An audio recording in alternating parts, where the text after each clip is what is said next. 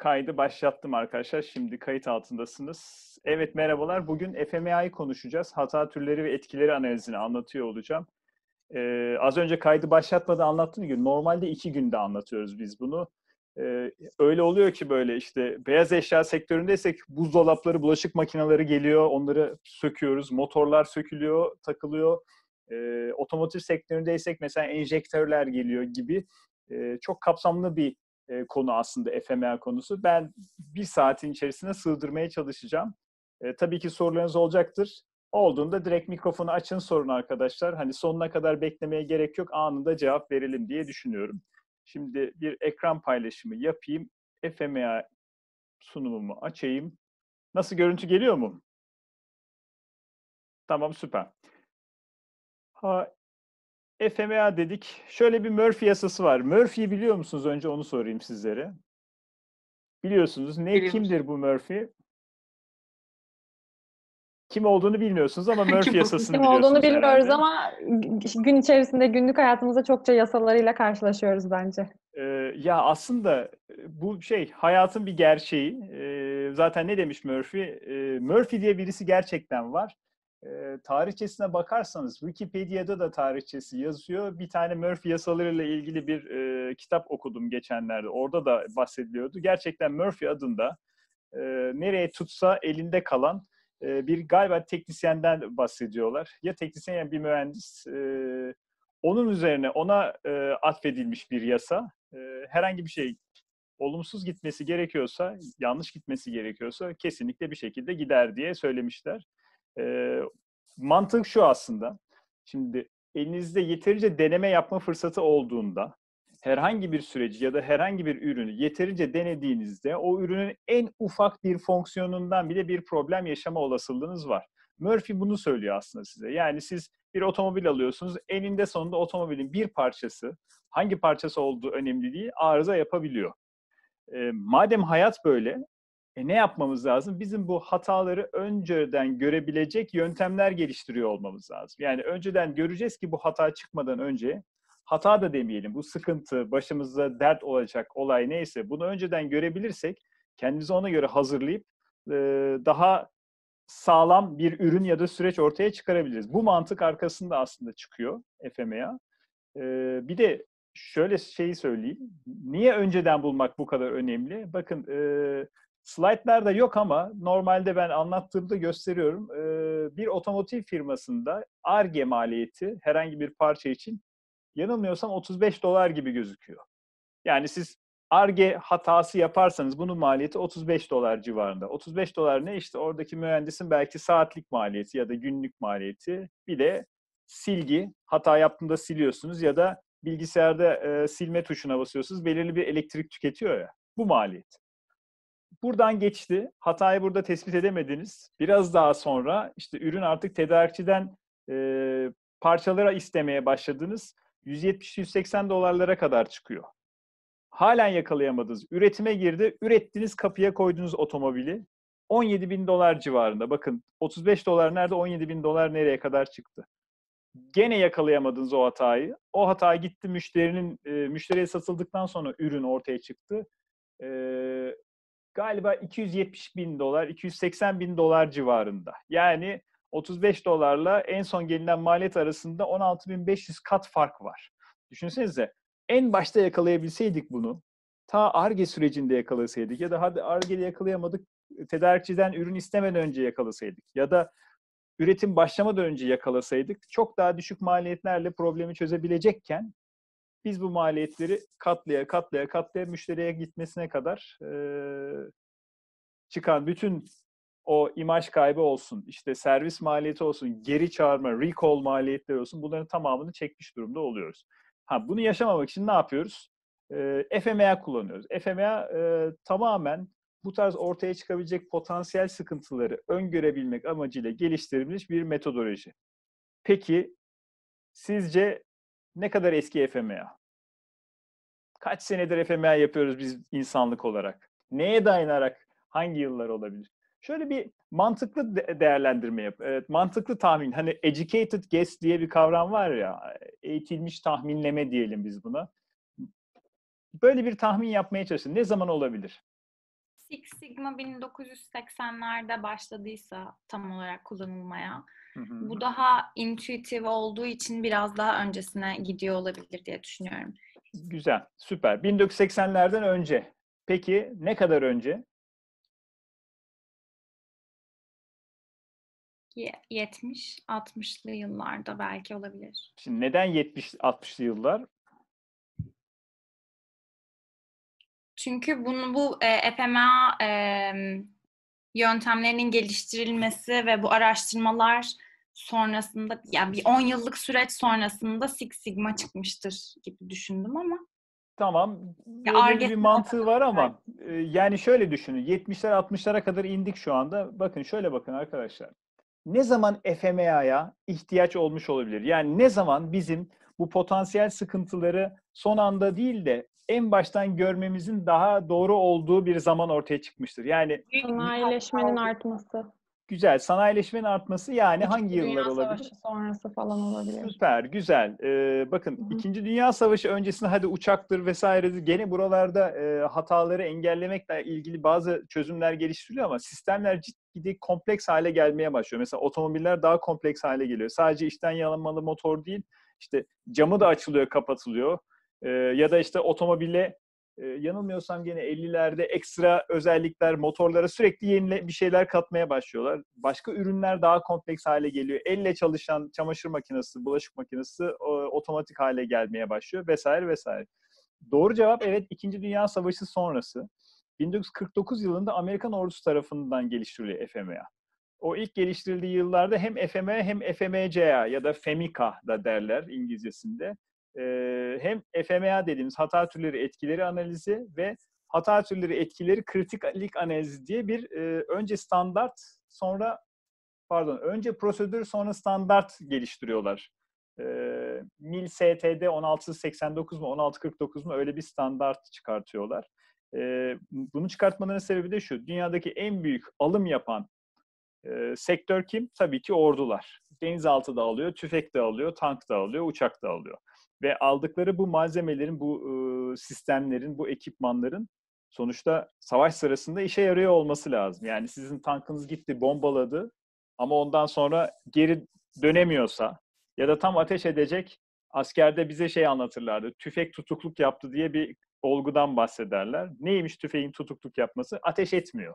Ya en savaşmanız gerekiyor birisiyle karşı karşıya geldiğiniz düşmanla tüfeğin ateş etmemesi diye bir şey kesinlikle kabul edilemez. Şimdi bunu önlemek için ne yapmak lazım? Neden tutukluk yapabilir gibi kök sebeplerinin önceden analiz ediliyor olması lazım. Ama siz hiç hayatınızda ortaya çıkmamış bir şeyi nasıl analiz edeceksiniz? İşte FMR metodu buna yarıyor. Yani şu, FMR şunun önüne geçiyor. Ya bence bu ürünün başına bunlar gelebilir gibi e, genel bir değerlendirme yerine o üründeki tek tek fonksiyonların ya da süreçteki tek tek adımların üzerinden geçirerek daha doğru tahminler yaparak problemleri önceden kestirip bunlarla ilgili erkenden önlemler almanızı sağlayan bir önleyici faaliyet sistemi aslında FMA.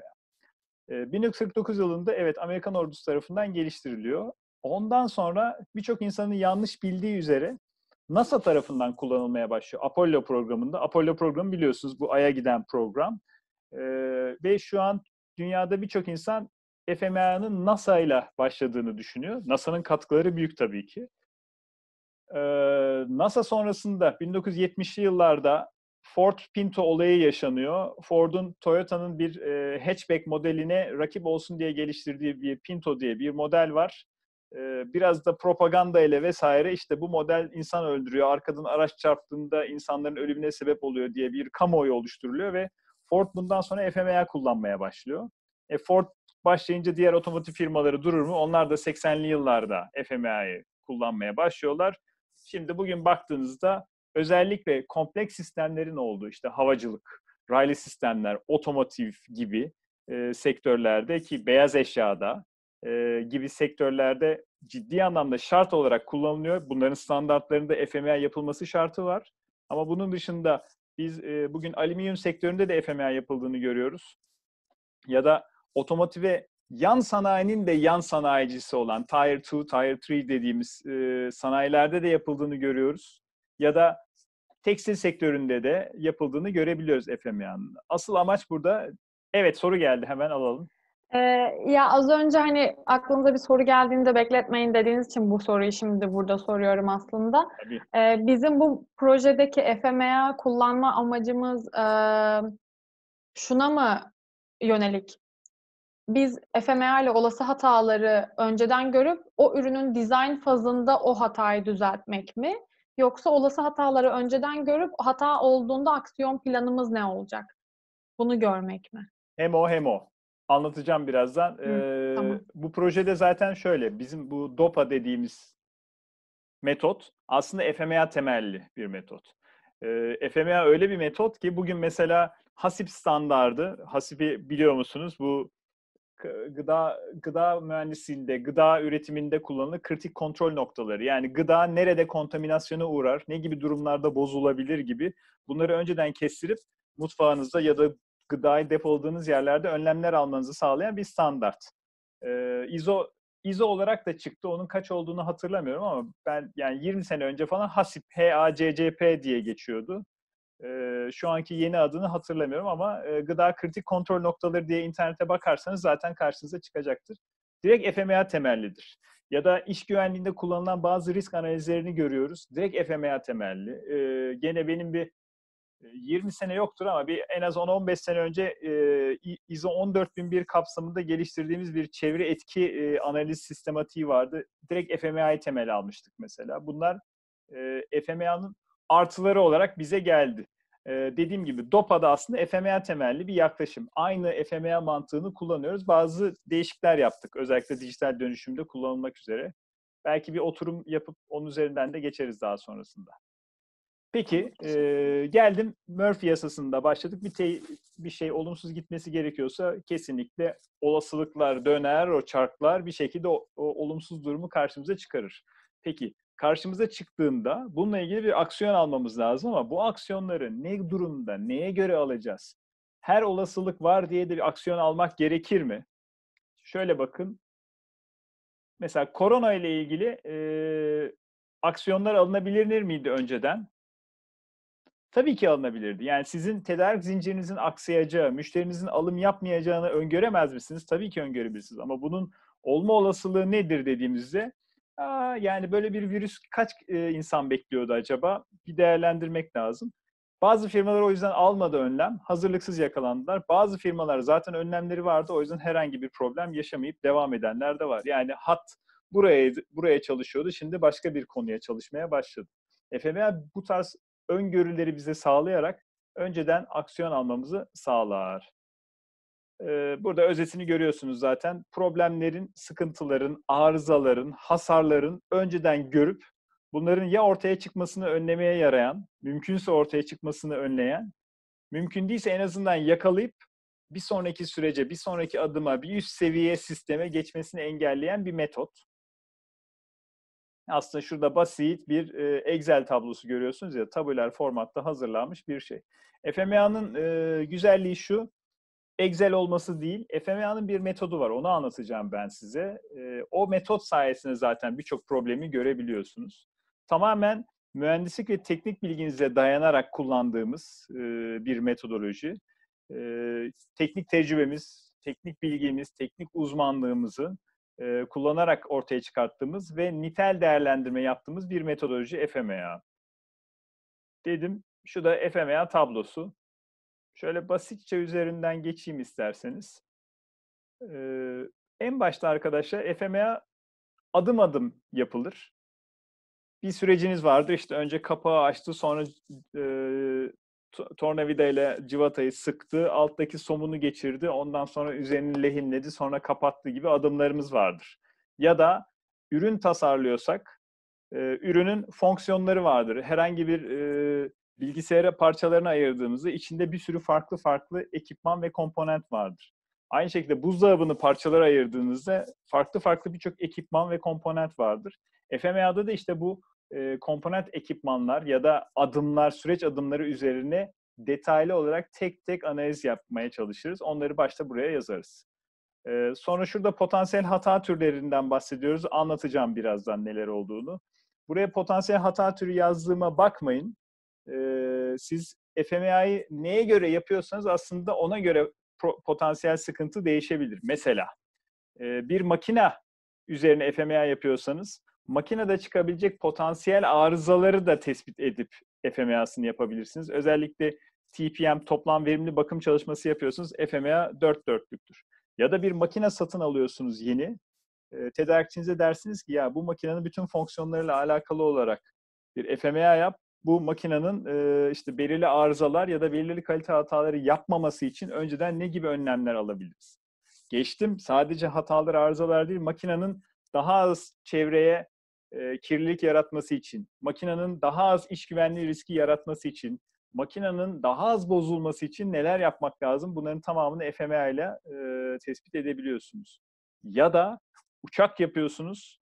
Uçak nerelerden, hangi parçasından ne tür hasar alırsa, hata değil bakın hasar alırsa başına ne gelebilir? Bununla ilgili ne aksiyon almak lazım? Bununla alakalı olarak FMEA yapabilirsiniz. Gördüğünüz gibi farklı farklı FMEA türleri var. Mantık genelde aynıdır, kullanım mantığı. Ama e, farklı türlerde FMEA kullanılır. E, günümüzde en çok kullanılan iki tür FMEA var. Bunlardan bir tanesi tasarım FMEA. Yani bir ürün ortaya çıkaracakken, sıfır, argesini yapacakken ya da mevcuttaki bir ürünle ilgili bir e, iyileştirme, bir revizyon e, yapıyorsak, yeni bir modifikasyon yapıyorsak ürün üzerinde genelde tasarım FMEA kullanırız. Eğer süreçte bir değişiklik yapıyorsak, örneğin bir alt sigma projesi yaptık, süreçte bir değişiklik yapıyoruz. Ya da bir e, modifikasyon yaptık makinede, bir iyileştirme yaptık, bir renovasyon yaptık ya da ciddi bir shutdown sonrası ciddi bir bakımdan geçirdik. Böyle durumlarda FMEA yapmayı e, tavsiye ediyoruz. Proses FMEA tavsiye edilir. Hataları belirliyoruz. Hataların potansiyel etkilerini konuşuyoruz. Potansiyel etkiler farklı farklı tarafları olabilir. Son kullanıcı olabilir, sizin bayinize etkisi olabilir, lojistik e, sürecinize etkisi olabilir. E, herhangi bir ürün üzerinde yapıyorsak ürünün üst sürece etkisi olabilir. Örnek vereyim mesela bir e, veya örneği en son detaylı anlatırken vereyim. Şiddeti var bir puanlama anlatacağız. E, sınıflandırma diye bir skala var. Her FMEA'da yoktur. Buradaki örnek olarak belirli özelliklere bağlı olan FMEA'lar için bir sınıflandırma getirilmiş. Bunu anlatmayacağım bugün. Sonra tabii ki hatalar varsa hataların da sebepleri olması lazım. Sebeplerin oluşma sıklığı olması lazım.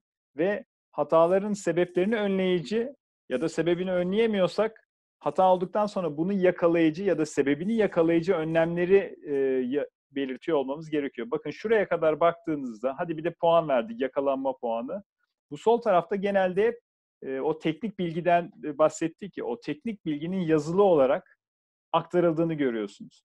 FMA'nın bir güçlü tarafı da bu şekilde bu bilgileri buraya aktardığınızda sizden sonra gelecek mühendis ve teknik, teknik arkadaşlara aslında bir yol çizmiş oluyorsunuz. Yani daha sonra siz firmadan ayrılabilirsiniz, başka departmana girebilirsiniz ya da yeni bir arkadaş gelip aynı üründe sizin daha önceden tasarladığınız bir üründe bir FMEA yapacak.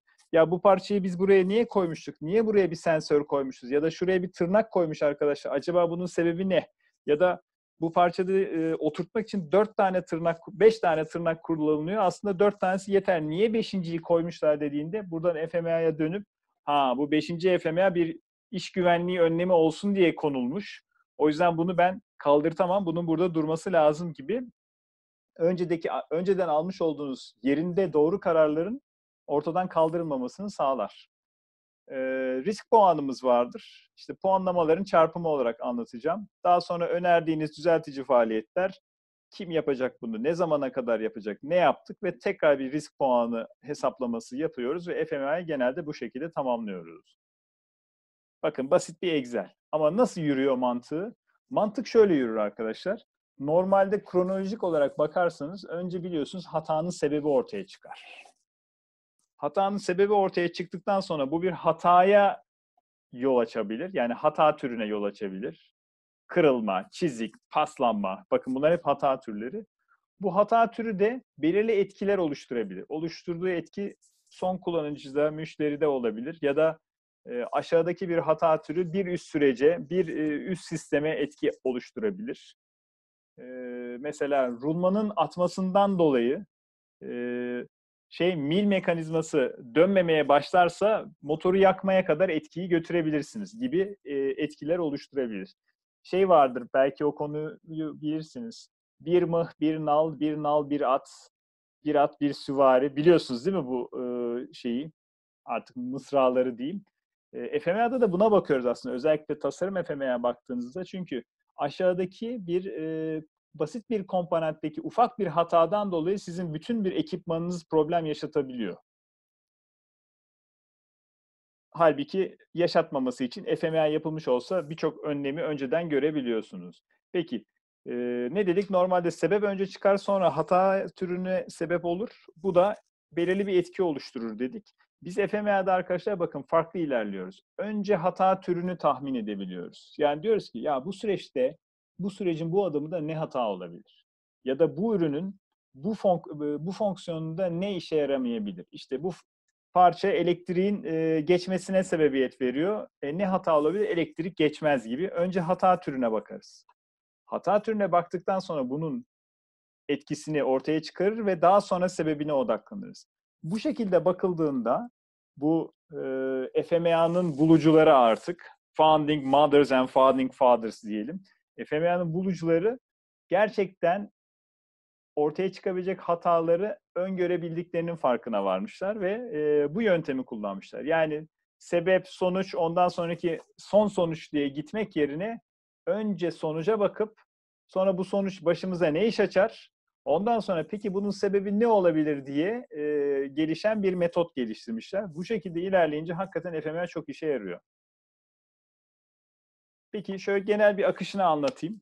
Önce arkadaşlar analiz edeceğimiz, FMA'sını yapacağımız sürecin adımlarını eğer bir tasarım FMA yapıyorsak bu sefer e, o üründeki komponentleri, alt sistemlerin e, fonksiyonlarını belirliyoruz. Belirledikten sonra yani bir akış şeması çiziyorsunuz basiti. Eğer süreç analizi yapıyorsanız, eğer fonksiyon şeması çiziyorsanız yani bir üründe tasarım yapacaksınız, tasarım FMA'sı yapacaksınız.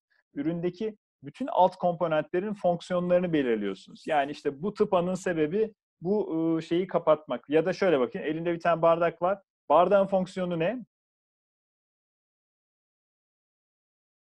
Mikrofon kapalı. Su içmek. Bardağın fonksiyonu su suyu, içmek suyu değil. tutmak. Güzel. Suyu içerisinde tutmak. Taşımamıza yardım ediyor. Demek ki suyu tutmakla alakalı bir fonksiyonumuz var. Suyu tutmak. E tabii ki bunun bir de spesifikasyonu var. Nedir? İşte bilmem kaç e, santilitreye kadar su tutabilme özelliğine sahip. Ne kadardır bu? Hadi 200 santilitre diyelim. 200 santilitre su tutmak. Bakın bardağın fonksiyonu bu. Önce fonksiyonu belirledik. Ya da proses yapıyorsak, proses FMS'e proses adımını yazdık. İşte önce kapağı aç. Kapağı açmak sizin prosesin fonksiyonu. Peki daha sonra hata türüne bakıyoruz. Burada ne gibi hatalar olabilir? Mesela bardağın fonksiyonu neydi? Suyu tutmak. 200 santimetre su tutmak. Ne hata olabilir burada? Basit bir çalışma. Suyu tutmaması. Güzel. Su sızdırabilir. Hatalardan bir tanesi. Başka ne olabilir sızdırmanın dışında? Ee, suyla etkileşime girmesi. Güzel. Suyla etkileşime girip suyu tutmaktan başka bir işe yaraması. Evet. Ee, başka ne olabilir? Bardak tamamen kırılır, suyu tutmaz gibi. Bakın üç tane hata türü belirledik. Şimdi birazdan hata türleri belirlemek amacıyla da bir e, yöntem var, onu anlatacağım. Hata türlerini belirledikten sonra her bir hata türü için etkileri belirliyoruz. Buradan su sızdırırsa bunun etkisi ne olabilir? Suyu kaybederiz. Evet, içen kişi su, su, suyu içemez. Susuz kalırız. Bir tane etkisi bu. Ee, kişi üzerinde etkisi bu. Peki başka ne etkisi olabilir? Etraf ıslanır. Ee, sızdırıyorsa işte etraf kirlenir, ıslanır. Bu da başka bir etkisi. Bakın iki tane etki çıktı. Yani aynı hatadan iki farklı etki de çıkabiliyor demek ki. Şimdi her etkinin farklı e, şiddetleri vardır. Şimdi hangisi daha şiddetli bunlardan? Benim su içememem mi, üstümün kirlenmesi mi, ıslanması mı? Islanması. Bence su içememek. Birinde ölüyorum, diğerinde sadece üstüm ıslanıyor. Ta- Ben tamam, sadece düşündüm. tamam. Demek ki etki şiddeti suyu içemem, içememem benim için daha yüksek şiddet. Demek ki e, şiddet puanını ona göre veriyoruz genelde. Sonra etki şiddetini belirledikten sonra bir puanlama var. Onu da göstereceğim. Ee, sebeplerini belirliyoruz. Bir şey sorabilir miyim? Evet. Ee, etki puanını belirlerken tamamen e, öznel yargılarımızla bu kanıya varıyoruz değil mi? Mesela ben e, üstümüzün ıslanması derken siz işte su içememem dediniz. Yani ikimiz ayrı ayrı mesela e, bu FMA tablosunu hesa- şey hazırlasak ben farklı bir puan vermiş olabilirdim buna. Ee, hem evet hem hayır. Hangi görüşümü alıyoruz? Yok hem evet hem hayır. Ee, genelde şöyle biz e, bir FMA'yı ekiple yapıyoruz bu arada. Yani tek kişi FMA tablosu hazırlaması önerilmiyor. Zaten bütün FMA literatüründe, kitaplarında FMA'nın hep bir ekiple yapılması gerektiği anlatılır. Çünkü e, çok fonksiyonlu, e, birden fazla uzmanlığa sahip kişilerin FMA çalışması içerisinde olması lazım. Örneğin üretimde bir FMA yapıyorsak, üretim mühendisinin yanı sıra e, ma- makine ile alakalı bakım bölümünden de arkadaşların olması, ARGE'den de arkadaşların olması gerekirken bir üründe tasarım FMA yapıyorsak orada üretimci arkadaşların da olmasını istiyoruz. Niye? Çünkü tasarım yapılan bir ürün üretime indiğinde bazen ya ben buraya elimi sokup da nasıl burayı sıkacağım gibi problemlerle karşılaşabiliyoruz. Bunların olmaması için o, FMA takımında e, üretimden de bir arkadaşın olması lazım. Belki tedarikçi bir arkadaşın da olması lazım olabiliyor.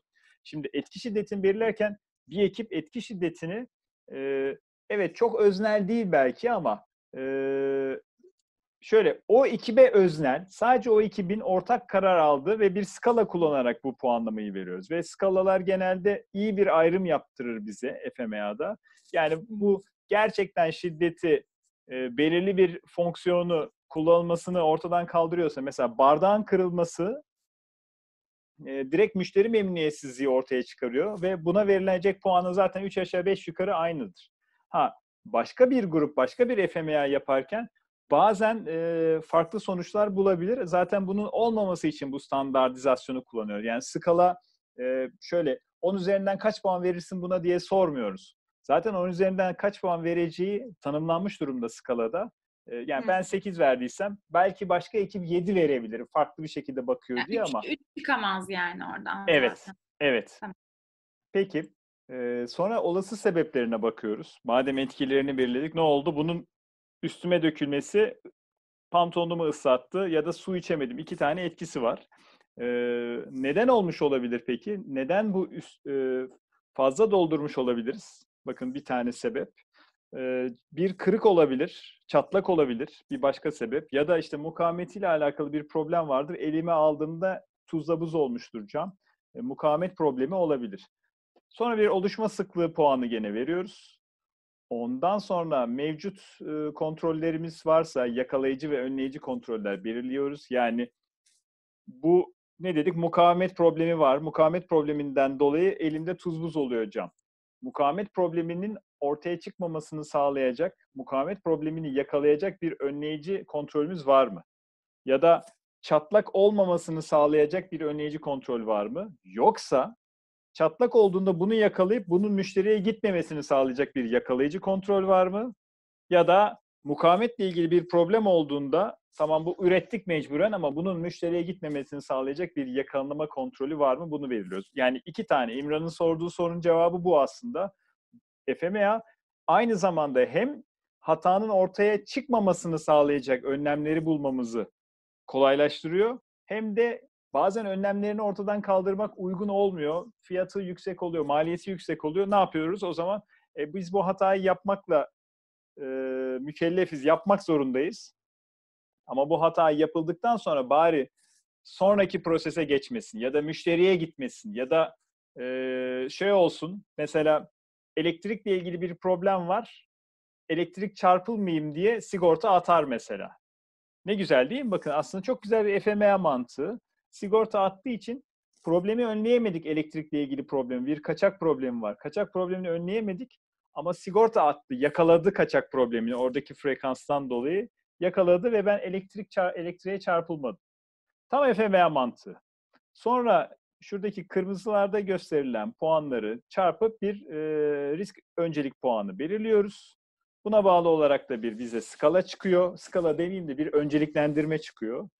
Ee, tabii ki önceliklendirmeden önce bizim e, genel nitel değerlendirmemiz daha önemli. Yani orada puanı yüksek çıktı diye bir numaralı olacak olan o değildir illa. Ee, ama bir e, önceliklendirme puanı olması da gerekiyor tabii ki. bize bir sonuçta sağlam temelli bir sonuç versin diye. Ondan sonra iyileştirme aksiyonlarına karar veriyoruz. Genel olarak FMA akışı böyle. Şimdi bir ilerleyelim bakalım. Önce arkadaşlar şöyle bir basit prosedür var FMA'da.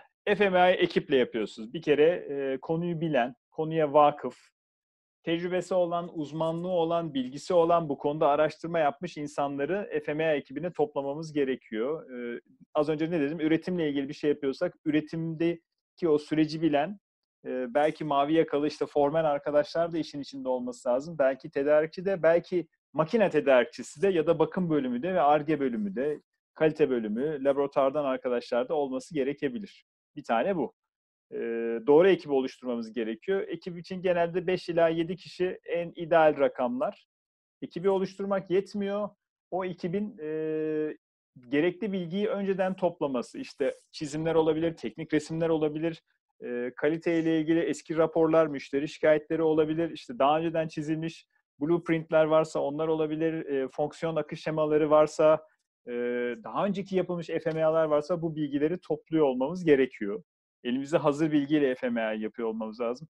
Tabii ki ürünün bir prototipi vesairesi varsa getirip onu da masaya koymamız gerekiyor. Çünkü e, öyle şeyler başımıza çıkıyor ki bakın bundan birkaç sene önce bir bulaşık makinesiyle ilgili bir problem yaşadık. E, bulaşık makinesi geldi. Gayet güzel çalışıyor bütün fonksiyonları.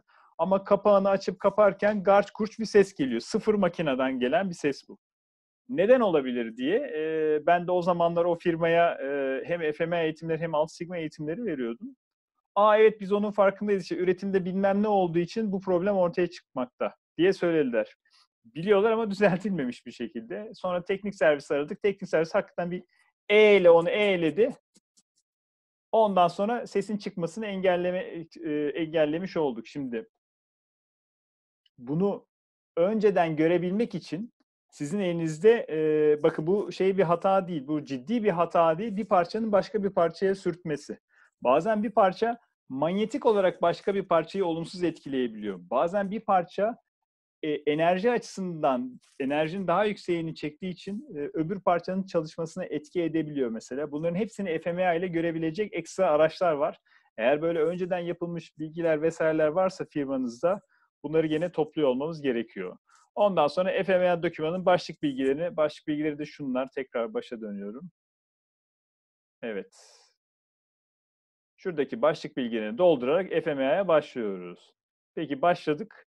İlk önce arkadaşlar yaptığımız bir akış şeması çıkartmak. Eğer prosesse proses akış şeması, süreç akış şeması, e, eğer ürüne odaklanıyorsak ürün fonksiyon akış şeması. Yani sadece bardak örneğini gösterdim. Bakın burada bir de çay bardağı var. İki tane parçadan oluşuyor. Bardak ve altlık diyelim. Ama bir de şöyle bir bakın. Sadece altlığa odaklandığınızda bakın altta şöyle bir şey var. Görüyor musunuz? Ya da şöyle bir çıkıntı var. Ya da şöyle e, cidarları mı diyeyim buna artık? Kenarları var. Bunların da sadece şu parçanın alt parçalarında bile, alt komponentlerinin bile bir etkisi var. Mesela şuradaki bu oyuk, şuradaki çıkık Burada çıkı, çıkığın bir fonksiyonu var arkadaşlar. Ne? Bardağın da altında böyle bir şey var. Bardağın hareket etmesini yani ayakta sabit bir şekilde durmasını sağlamlaştırıyor. Normal bardaklar gibi değil. Bu herhalde FMA yapılmış bir bardak altlığı diye düşünüyorum. Ee, mesela kenarlarının böyle yüksek olması işte çayı koyarken e, ya da çayı taşırken dışarıya e, çayın dökülmemesini sağlayacak bir önlem.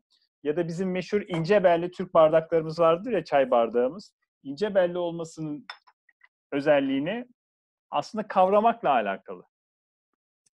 Kavramak için kolaylık sağlıyor. Neyse artık. Diğer bardaklarda yok. Bakın alt komponentlerin bile fonksiyonlarını çıkarabilirsiniz. Önemli olan neye FMA yapacağınız. Şimdi bir bulaşık makinesi düşünelim. Bulaşık makinesini FMA yapabilir misiniz? Evet yaparsınız ama bulaşık makinesinin sadece e, o deterjan kutusuna da FMA yapabilirsiniz. Bulaşık makinesinin arka taraftaki tuz hanesine de FMA yapabilirsiniz. İşte boşaltma pompasına da FMA yapabilirsiniz. Kapağına da FMA yapabilirsiniz. Kartına da FMA yapabilirsiniz. Ya da hepsine FMA yaparsınız sıfırdan. O yüzden başlangıçta tabii ki doğru bir kapsamla gitmek gerekiyor. Yani tutup da e, problem olmayan bir alanda FMA yapmak ya da ihtiyaç olmayan biz şu anda sadece kartı revize etmeye karar verdik bulaşık makinesinde. O zaman sadece kartta FMA yaparsınız. Ama kartta yaptığınız FMA diğer bulaşık makinesinin daha üst sistemlerine ya da daha alt sistemlerine mesela kartta yaptığınız FMA bulaşık makinesinin o kablolama sistemini etki edecekse ya da motor üst sistemini etki edecekse buna bağlı olarak oralarda da FMA'ları revize ediyor olmanız gerekiyor. Yani böyle tamamen kendi içinde birbiriyle konuşan bir FMA yapısından bahsediyorum. Gene farklı standartlar var diye bahsetmiştim en başında. Mesela şu an çok yeni bir FMA standardı çıktı. AIAG ve VDA'nın FMA standardı. Orada bu tarz kompleks sistemlerin birbirleriyle ilişkilerini daha kolay anlayabilmeniz açısından FMA formatı tamamen değiştirildi. Ben size tabii düz mantığını anlatıyorum. Bunu anlayan onu da anlayacaktır zaten. Peki ilk önce fonksiyon ve süreç adımlarını yazdık. Ondan sonra her bir adımda ne gibi hatalar olabilir onları belirlememiz gerekiyor. Birazdan bir 7 tane sorulu bir checklistim var benim hataları belirlemek adına. Hataları belirledik. Her bir hatanın müşteriye, sonraki prosese, üst sisteme, alt sisteme ne gibi etkileri olur? Bunları belirlememiz gerekiyor. Tabii ki etkileri belirledikten sonra sebepler ve bunlarla ilgili kontrolleri belirliyor olacağız. Sonra risk puanlarını veriyor olacağız. Ondan sonra iyileştirme faaliyetleri önceliklendirmelere bağlı olarak sonra bu faaliyetleri de gerçekleştiriyor olacağız. Şimdi en başta ne dedik? Süreçlerin analizi gerekiyor diye. bunun için arkadaşlar bakın sol tarafta fonksiyon diyagramları, arayüz matrisleri, işte ilişki matrisleri, tasarım çizimleri, konfigürasyon diyagramları, pi diyagramlar vesaire birçok bilgiyi önceden toplamış olmamız gerekiyor. Yani şunu görüyoruz bazen bazı sektörlerde otomobille ilgili bir parça ya proje müdürü diyor ki ben onu yaptım gönderdim ana sanayiye diyebiliyor. Bazen bu kadar basite indiril, indir, indirilmemesi gereken bir başlık diye düşünüyorum. Çünkü otomobil dediğinizde insan hayatına direkt dokunuyorsunuz. Otobüs dediğinizde insan hayatını, daha çok insan hayatına dokunuyorsunuz. Raylı sistemler dediğinizde aynı şekilde.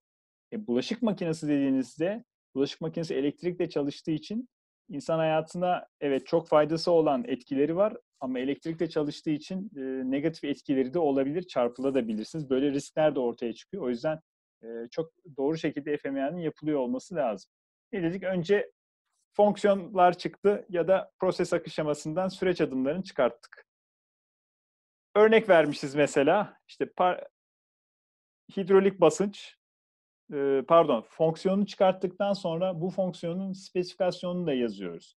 E, spesifikasyonu niye özellikle söylüyorum ben? E, herhangi bir parçanın alt alt komponenti ya da herhangi bir süreç adımının e, bir spesifikasyonunu yazmadığımız durumda siz onu kontrol altında tutmuyorsunuz anlamına gelir. Yani şurada bakın hidrolik basınç 3000 psi artı eksi 200 psi arasında olsun diye bir spesifikasyon varmış.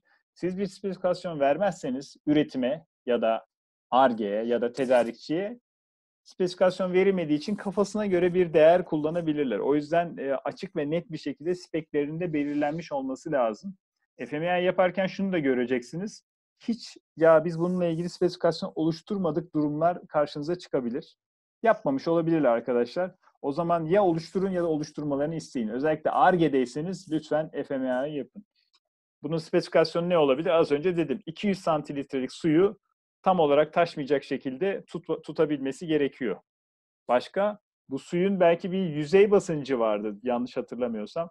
O yüzey basıncında dayanıklı olarak e, kalınlıkta olması gerekiyor mesela. Mukavemetinin de öyle olması lazım. Artık neyse şu kadar kilogram bölü santimetre kare gibi bir yüzey basıncına dayanıklı olması lazım. Bakın bu da başka bir spesifikasyon.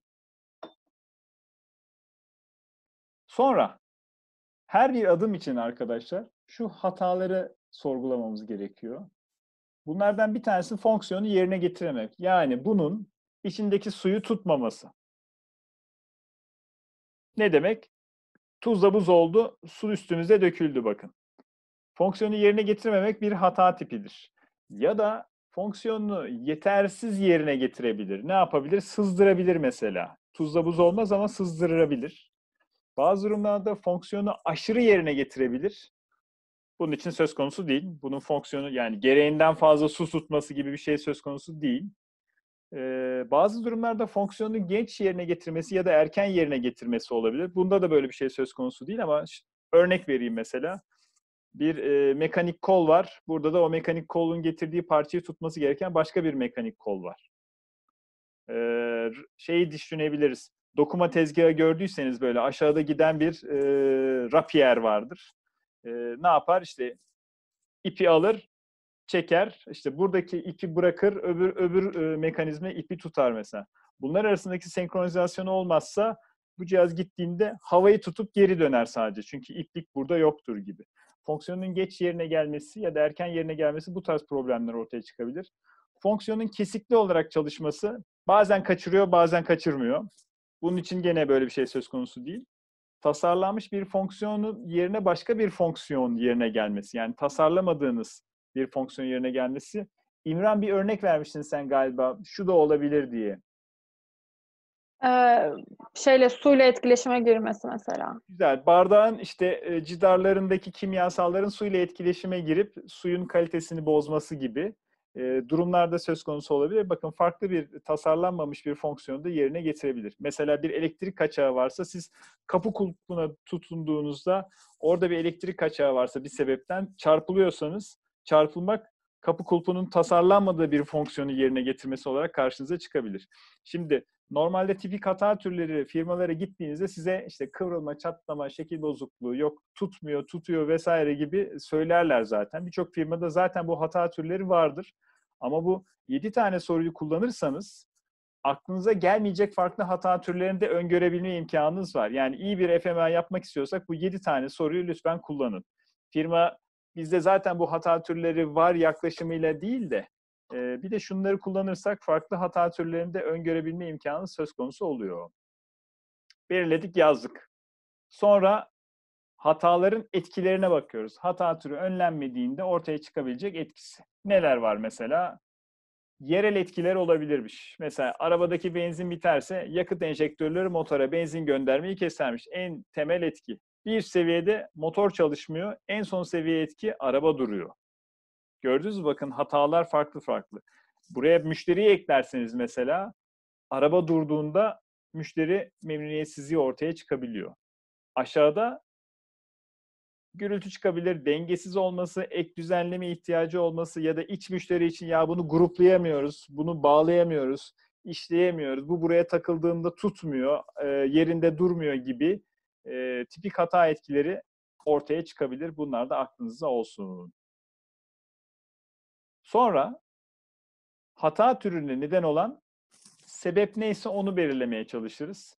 Örnek mesela aşımış contadan dolayı sızıntı yapan aktivatör ya da aynı konektöre aynı renkli iki kablo tasarlanmasından dolayı yanlış yuvaya yanlış kabloyu takıyoruz. İkisi de kırmızı renkli kabloların halbuki biri yeşil biri sarı olsaydı böyle olmayacaktı ama kırmızı renkli kablo olduğu için yanlışlıkla bu kabloyu diğer yere e, takmamız durumunda hata ortaya çıkabiliyor. Bunlar sebepler bakın.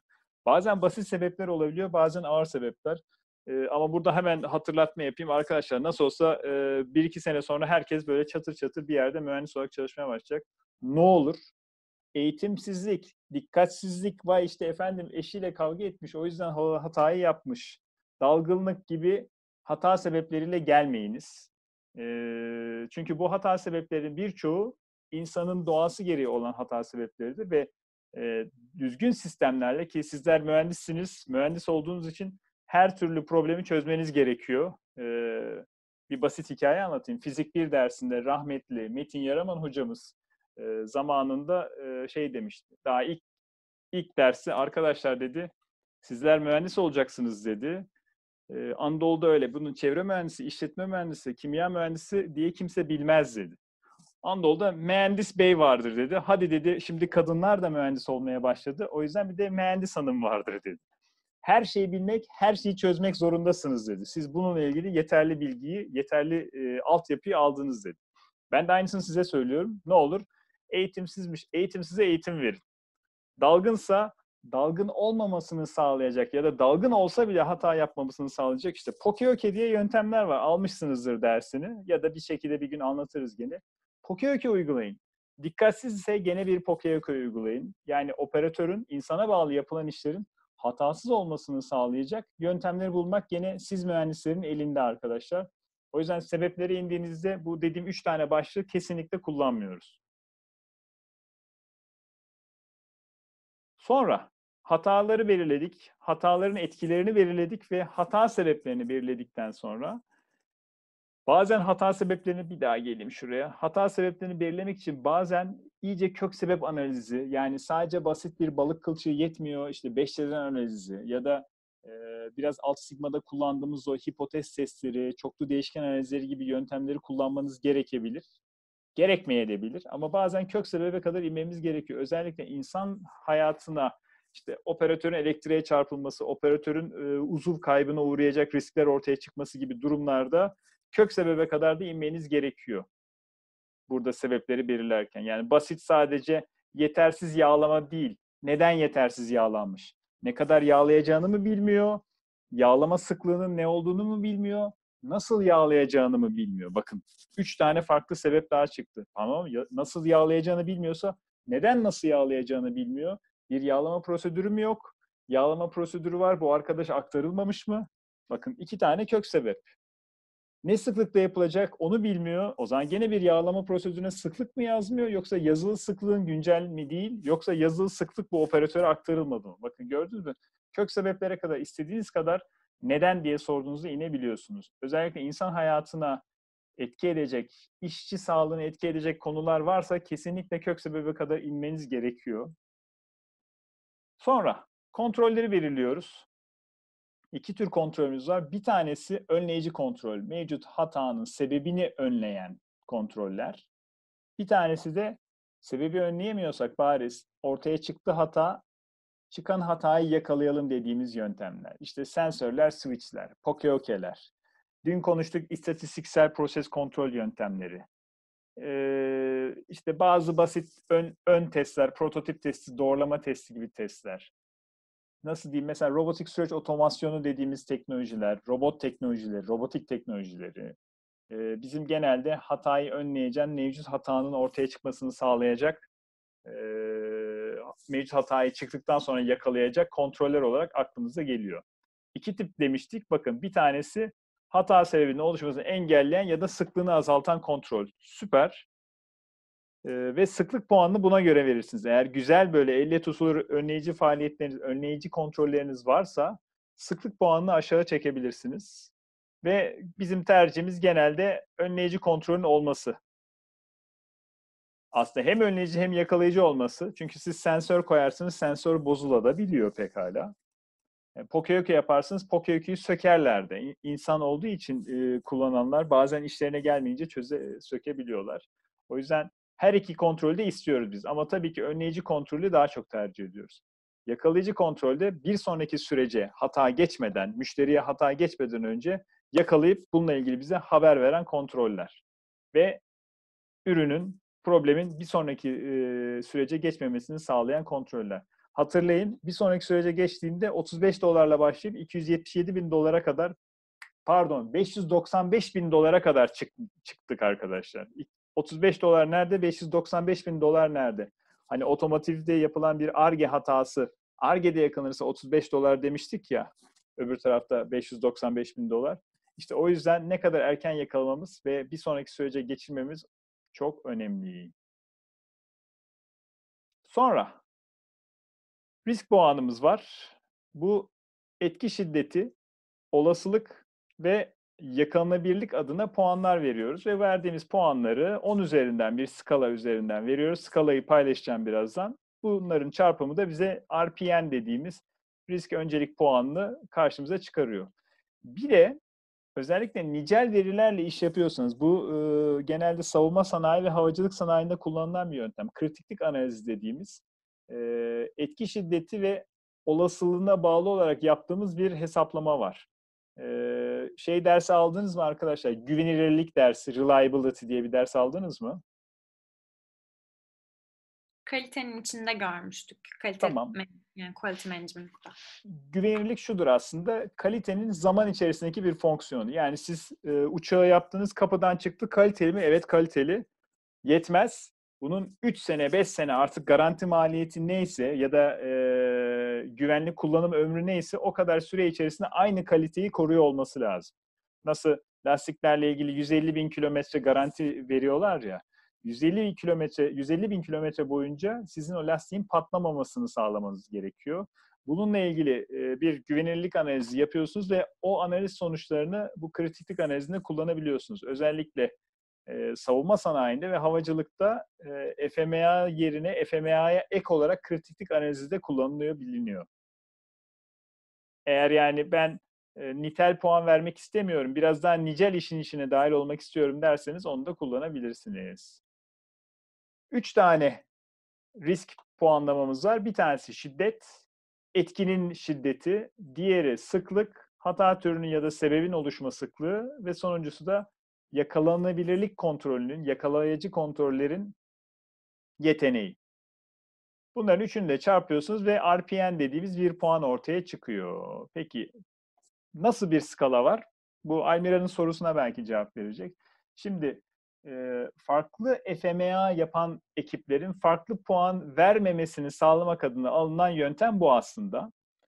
Mesela demişiz ki eğer ürünün kullanılamadığı durum söz konusu olsa bakın 8 puan veriyoruz. Ama ürün kullanıcıda kullanıcı güvenliğini tehlike altına tutan bir durum ortaya çıkarıyorsa 10 puan verebiliyoruz. Uyarısı yoksa yani bir tehlike olduğunu uyarmayan bir sistem varsa direkt 10 puan veriyoruz. Bakın kırmızıyla göstermişler. Özellikle insan sağlığına etki eden durumlar. Ama mesela etki hiç fark etmiyorsak o zaman 1 puan vermişiz. Puanlamayı buna göre yapıyoruz. İşte fonksiyon kaybı olduğunda ürün tamamen kullanılmıyorsa 8 puan ama fonksiyon kaybı oluyorsa 7 puan olarak düşüyor bakın. Puanlamayı buna göre vermemiz gerekiyor. Ee, şimdi ekiple karar verirken genelde e, bazen şu olabiliyor. 8 mi verelim 7 mi verelim arasında farklı değerlendirmeler olabiliyor. İşte burada belki AHP kullanılarak e, daha doğru bir karar vermeleri sağlanabilir. Değerlendirelim onu e, hata ihtimali oluşma sıklığı tablosu dedik. Bakın burada da adetler bazında verilmiş. E, tabii şöyle de bakın. Hiç üretmediğiniz bir ürünün ne kadar hata yaptığını bilemezsiniz. Geçmişte benzer ürünler varsa bunlardan belki bakabilirsiniz. Yani biz daha önce burada şu kadar ppm ile çalışıyorduk. Aşağı yukarı bu kadar ppm hata yapma olasılığımız var diyebilirsiniz. Ama ilk defa ürettiğiniz bir ürünse o hatayı e, ihtimali biraz tahmin etmeniz gerekiyor. Yani koronadan dolayı bizim tedarik zincirimizin tamamen sekteye uğramasının oluşma sıklığı ne olabilir? Çok yüksek bir şey değil. Belki bunun e, ne zaman ortaya çıkabilir? Nadiren hatta neredeyse yok gibi. Hani iki puan verdiniz diyelim. Şiddeti ne? Koronadan dolayı tedarik zincirinin e, şeye uğraması, sekteye uğraması tedarik zinciri kullanılmadığı için 8 puanlık bir şey. Bakın 8 puan çok yüksek bir şiddet. İnsan sağlığına bir etkisi var mı? Belki zorlarsak 9-10 puan verilebilir burada. Ama sıklığı çok düşük. O yüzden bununla ilgili önlem alma durumunda olmayabilir firmalar. Çünkü çok sıklığı düşük olduğu için yapabilecek bir şey yok burada. Ee, son olarak bir de yakalama kriterlerimiz var. Yakalama kriterlerimize bakın. Neredeyse yakalanmıyorsa, yakalama imkanı yok ya da yakalayacak bir kontrol yoksa direkt yüksek puan veriyoruz. Ama e, elimizdeki kontroller, işte pokökeler, RPA'ler e, gibi yöntemlerle gerçekten hatalı işlem yapılmayacağını sağlayacak önlemlerimiz varsa ya da robotik sistemler, e, işte yapay zeka ile çalışan algoritmalar gibi sistemler varsa bakın biraz daha sıklığı, pardon, yakalama e, yeteneği arttığı için daha düşük puan veriyoruz. Genelde risk azaltmak için sıralama şöyledir. Ee, önce arkadaşlar şu sol tarafı unutun. Ortadan başlayayım. Önleyici mekanizmalar kurabilirsiniz. Yani bu hatanın sebebini ortaya çıkma sıklığını azaltacak ya da sıfırlayacak ne gibi bir yöntem bulabiliriz? İşte buraya bir switch takalım, oraya sigorta takalım, buraya bir aparat yapalım e, hatalı ürünler buradan geçmesin gibi. Önce bunu yaparsınız. Bunu yapamıyorsanız daha iyi yakalayıcı kontroller yani daha kolay yakalayacak yöntemler geliştirebilirsiniz. Mesela eskiden gözle kontrol yapıyorduk. Şimdi e, imaj prosesleme ile görüntülü görüntü işleme teknolojisine sahip bir kamerayla operatörden çok daha iyi, iyi ve net görecek bir kamerayla biz yakalamaya başladık. Eskiden o yüzden belki 9'du, şimdi 7'ye indirdik gibi. Önlemler alıyoruz. Ha, hiçbir şekilde eğer tasarımsal bir değişiklik yapmazsanız etki şiddetini azaltamıyorsunuz. Mesela çok basit bir tane örnek. Otomobil lastiği ürünümüz olsun. Otomobil lastiğinin patlaması hatası olması durumunda e, başımıza gelebilecek en büyük şiddet ne? Etki şiddeti. Etki ne? En büyük etki. Kaza. Yani insan hayatı. Öyle değil mi? Evet. Ölme riski var. Peki güzel. Ee, biz otomobil lastiğinin patlaması sonucu böyle bir etki ortaya çıkıyorsa e, bunun olmaması için ne yapabiliriz? Ya da daha az sıklıkta olması için ne yapabiliriz? İşte run-on flat lastikler çıktı ya da işte patlamayan lastikler vesaireler diyorlar ama bunlar da olmasına rağmen gene de lastik patlayabiliyor. Yani sizin run-on flat lastiğiniz de patlayabilir arkadaşlar. Çünkü lastik her zaman patlama riski olan bir şey. Ne yapmak gerekiyor? Tasarımsal bir değişiklik yapmanız lazım. Mesela otomobil lastiği kullanmadan işte hava yastığıyla havadan uçan otomobiller yapmak gibi. Böyle durumda ne yapıyorsunuz? İşte otomobil lastiğinin patlama riskini tamamen ortadan kaldırdığınız için etki şiddeti de ortadan kalkmış oluyor. Eğer tasarımsal ciddi bir değişiklik yapmazsanız şey etki şiddeti hep aynı kalacaktır. Çünkü her zaman lastik insan hayatını etki edebilir. Genelde e, ben puan puana gene bir bakarız RPM puanına değerlendirmek için. Ama bazen RPM puanı dışında sizin gene e, teknik uzmanlığınızı kullanarak da bir sıralamaya göz atmanızı tavsiye ediyorum. Yani orada yüksek puanı var diye aşağıda belki puanı düşük olan ama gerçekten etkisi olduğuna inandığınız ya da tecrübeniz sahibi, tecrübe sahibi olarak gördüğünüz bazı durumlar varsa onları da bazen dahil etmeniz gerekiyor. Çok ender olarak çıkabiliyor çünkü. Puanlama sonucu puanı düşük olmuş gibi. Ee, yapacağınız faaliyetler de arkadaşlar lütfen puanı azaltmak için değil, lütfen riski azaltmak için olsun. Yani gerçekten elle tutulur faaliyetler koymamız gerekiyor. Ee, şunu görüyoruz bazı firmalarda, işte eğitim verdik arkadaşlara, prosedürü revize ettik gibi yaklaşımlar oluyor. Bunlarla e, FMA'daki risk puanını belki azaltmış olabiliyorsunuz ama gerçek hayatta o risk azalmış olmuyor. Çünkü kalıcı önlemler değil. E, işte bazı yöntemlerden bahsettik burada. İşte deney tasarımı yöntemleri, kontrol limitlerine karar vermek için kullanılabilirmiş. Alt sigma ile o anlattığım değişkenliği azaltabiliriz. Pokeökeler vesaire uygulamaları yapabilirsiniz. Bittikten sonra da İlk ve revize edilen RPN'leri tabii ki karşılaştırmak gerekiyor. Gerçekten bir iyileştirme oldu mu, nereye kadar iyileştirme olmuş diye. Benim anlatacaklarım FMA ile ilgili bu kadar. Var mı sorularınız arkadaşlar?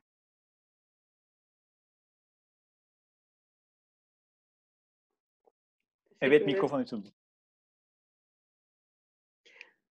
Çok klasik bir soru soracağım da bu sunumu bizim Drive dosyamızda olacak mı? Tekrar göz atabilme şansımız var mı buna? Bunu ben e, kayıt ettim zaten. Şu anda kayıt devam ediyor. E, şey yapacağım. YouTube'da paylaşacağım. Yeterli olur mu? Tabii. Öylelikle hani benim sözlerimde kalmış olur. E, başka sorumuz yoksa ben kapatıyorum o zaman ka- kaydı.